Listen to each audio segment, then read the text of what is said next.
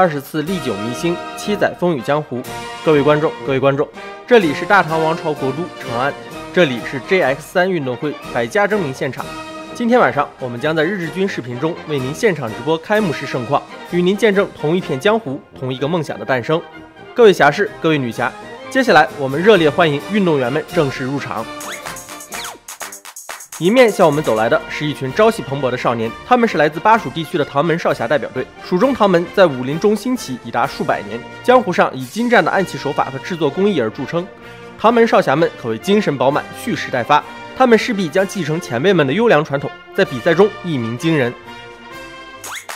接下来走入会场的是一支全新队伍——江湖百态代表队。这支由艺人、御兽师、绿林、镖师组成的首发阵容，将向大唐侠士传授全新的生活能力。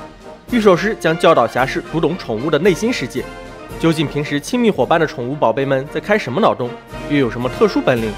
换位思考，你就明白，天南海北的不同风土人情，成就了艺术的土壤。侠士成为艺人后，不仅可习得若干舞姿，获得他人赠送的鲜花，随着自身段位成长，未来还能在更绚丽梦幻的舞台中尽情起舞。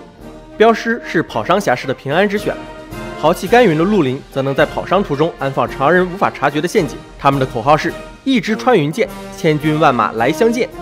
下面走来的是白帝水宫代表队，五人秘境白帝水宫分为英雄模式和挑战模式，对应掉落九百一十品和九百九十品武器装备。侠士在探索白帝水宫秘境同时，不仅可获得凌云会声望，兑换最高一千零二十品的帽子装备，还有机会获得首领武器造型的酷炫挂件奖励。这支代表队主要由慕容绿珠。宫天禅、宇卓成三位秘境首领组成，随队官员还包括方清雅、楚霞影以及大名鼎鼎的剑魔谢云流。在振聋发聩的尖叫和欢呼声中登场的是阵容庞大的门派宠物代表队，七十二名参赛队员是本届盛会中运动员最多的队伍，他们中共有十五位选手是今年第一次参加，一经亮相就受到广大侠士的热烈追捧。值得一提的是，本次盛会后，广大侠士将有机会通过剧情任务领养全部本门跟宠，弥补多年遗憾。而领养全部本门跟宠的爱心侠士将被授予徽章奖励，还将赠送一套本门跟宠的丰富自拍表情包。迈着轻盈脚步踏浪而来的是水面轻功代表队。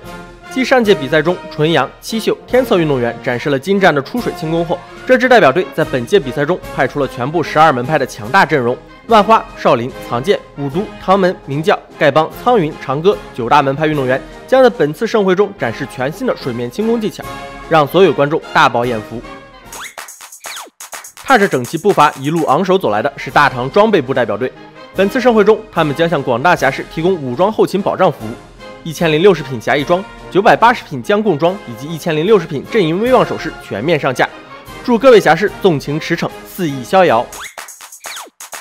下面盛装而来的是商城美化代表队，在他们的努力下，新的外观界面中，无论外装还是跟宠、坐骑、小玩意儿，都可在实际场景内预览。同时，晴天、日出、夜晚、阴雨等不同光照条件，也可以让侠士拥有买家秀一般的愉快体验，再也不用担心货不对版了。下面我宣布，大唐第二十届 GX 三运动会百家争鸣正式开幕，预祝各支代表队赛出风格，赛出好评。下面是大型文艺演出时间。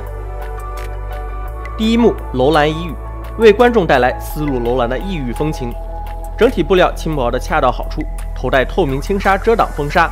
个性化的耳环和饰品彰显与众不同的文化内涵。护手则加入精致装饰，让整体气质更显不羁。第二幕愁云体语，作为传统国风的全新演绎，在强调简洁得体的同时，精心打造的腰带融入大量华丽而不突兀的纹路设计，营造出君子如玉的温润气息。第三幕《鱼梦九天》，采用翠鸟主题设计的全新特效外观，将飞鸟的坚韧与柔美两种不同的元素统一，将翠色羽毛作为点睛之笔，呈现出性感的身段和矫健的身姿。第四幕《长天秋红》，以舞蹈为核心的特效外观，袖子自带飘逸丝带，强调舞者的曲线之美，高开叉与华丽的下摆统一，让舞蹈更显浪漫而又不轻浮。以上就是本届 JX 三运动会百家争鸣的开幕式盛况。更高、更快、更强的奥运精神将永远激励着我们，点燃你的热情。感谢各位侠士收看，江湖路远，有缘再会。